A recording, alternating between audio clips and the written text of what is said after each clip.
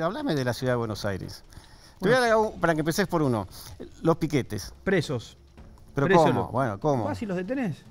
Bueno, no es O tan- sea, ¿Por qué no es tan sencillo? O sea, si alguien roba un celular, Sí, que lamentablemente no los van a buscar cuando roban celular porque ahora tienen GPS, sí. y a uno le da bronca, pues acá está mi teléfono robado, vayan a buscarlo. No, no podemos, dice la policía. Bueno, do- 2000, do- una manifestación de 2.000 piqueteros. ¿Metés preso a los 2.000? Empezamos con los, no, a los líderes piqueteros. Ah, eso me Empe- gustó. Empezamos, empezamos primero a buscar las manifestaciones donde hay 50 personas. Ayer me cortaron la calle, Sí, en la Avenida de. Mayo, venía con el auto, había 50 Pero piqueteros. la ley tiene que ser para todo, para 50 o 2.000 o 3.000. Por supuesto, pero empezamos Bueno, con lo más tengo- fácil. O sea, vamos con los 50, agarramos a los líderes piqueteros. ¿Querés ir a la del 2000? Vamos a la 2000, agarramos a los líderes piqueteros.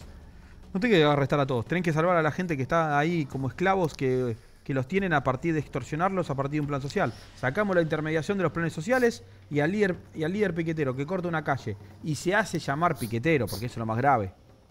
Porque el piquete es un delito. Que digan yo soy piquetero, ¿cómo sos piquetero? Como si yo soy ladrón.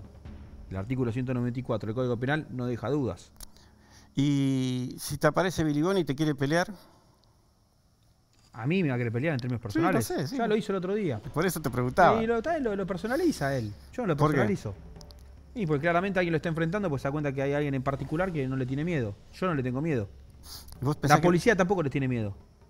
La policía no le tiene miedo a Beliboni.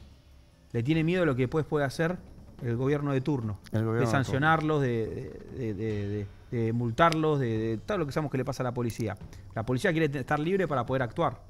No quieren más Beliboni los policías. Porque me lo dicen ellos mismos cuando me los cruzo. Gracias por bancar nuestra posición. Queremos laburar.